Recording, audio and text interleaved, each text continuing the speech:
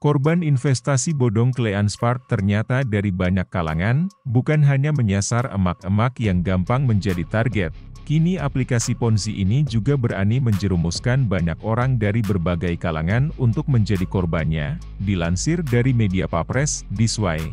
Korban dari aplikasi yang mengaku sebagai investasi penambangan koin kripto ini ternyata dari banyak profesi, mulai dari aparat penegak hukum, APH, pejabat di lingkungan Pemkap Muba, ASN, pengacara, wartawan, pengusaha UMKM, tokoh masyarakat, kontraktor, pekerja BUMT, BUMN, dan IRT, para korban ini tergiur dengan keuntungan besar yang dijanjikan aplikasi Kleanspark, karena bisa menghasilkan hingga 700% dari nominal modal hanya dalam waktu singkat. Tak heran, mereka langsung setuju bergabung dan tidak berpikir panjang untuk terus-terusan deposit, karena aplikasi benar-benar membayarkan keuntungannya sesuai yang dijanjikan, bahkan hingga berjalan beberapa bulan, dan setelah banyak dana masuk dari anggotanya ke dalam aplikasi, tepat pada 7 Oktober 2024 kemarin, aplikasi ini tiba-tiba tidak bisa lagi melakukan penarikan.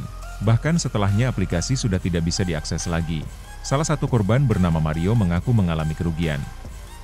Hingga 72 juta rupiah, dia juga menjelaskan awal mula terjerat masuk ke aplikasi ini lantaran mengikuti ajakan teman.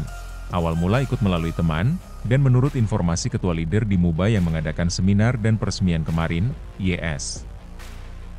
HS, YS, yang beralamat di Kelurahan Kayuara, ungkapnya, sementara korban lain bernama Sela juga mengalami kerugian hingga 38 juta, para korban yang panik uangnya hilang, kini sedang melakukan upaya untuk menempuh jalur hukum. Saat ini mereka sedang melakukan penghimpunan data dan berkas dari para korban sebagai syarat untuk pengajuan dokumen ke kepolisian.